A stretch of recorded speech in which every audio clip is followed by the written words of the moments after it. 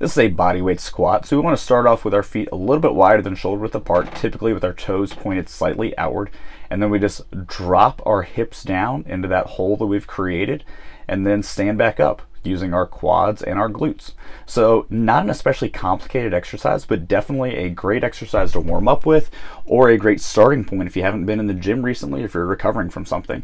You'll notice I throw my hands forward at the bottom of the squat. That's just kind of counterbalance and make it a little bit easier to keep my chest up nice and tall, which is what you want.